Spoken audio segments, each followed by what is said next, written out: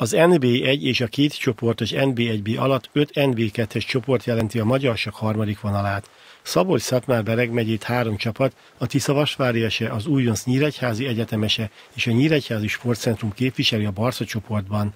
Utóbbi az elmúlt bajnokságban indult először, és a dobogótól mindössze egy ponttal elmaradva az ötödik helyen végzett. Az idei szezonnak nagy tervekkel vágott neki az NSC, amely a legutóbbi fordulóban 9-3-ra győzte le a városi rangadón az egyetemi csapatot a megyeháza disztermében megrendezett mérkőzésen.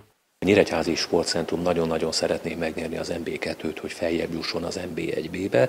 Ehhez a sportcentrum a kellő támogatást, a hátteret megadja, a többi a játékoson múlik. A játékos garnitúránk jó, erősítettünk a tavalyi évhez képest, de természetesen kell ehhez még az erősebb szív, az erősebb akarat a küzdelmekben, ugyanis az ellenfelek is rendkívül erősek. Csak egy példaképpen mondanám el, hogy az egyik legkomolyabb ellenfelünk, Miskolc csapatát, első táblán egy francia színekben versenyző idős nagymester tartja. Egy fiatal tehetségünk, a munkácsi illetőségünk, magyar színben játszó Tiba Vladislav, éppen ebben a hónapban szerzett nemzetközi mesteri címet, megszerezte mindhárom normát, és értékszámát 2400 felé emelte.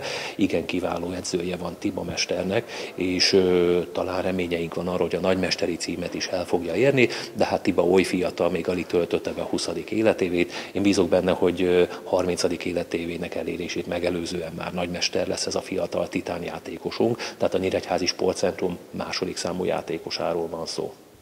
Gunyez Zoltán elmondta, hogy feljutás esetén az NB2-ben is indítanának csapatot néhány felnőttel és a legtehetségesebb fiatalokkal, valamint a 10 csapatos megyei bajnokságban is játék lehetőséget biztosítanának ifjúsági korú sakkozók és a sportágat kedvelő amatőrök számára. A sakkal egyébként az iskolákban beinduló oktatásnak köszönhetően egyre több gyerek ismerkedik meg a megyében is.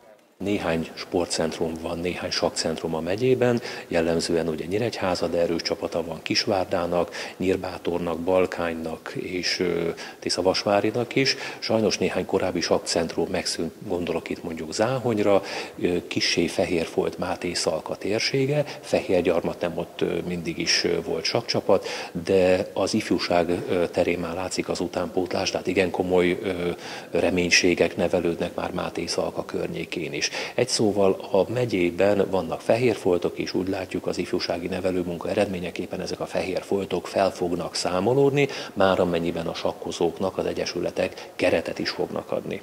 A fiatalok december elején Nyíregyházán a hagyományos Mikulás kupán ülhetnek majd asztalhoz. A versenyre az országból mintegy 200 sakkozót várnak a szervezők.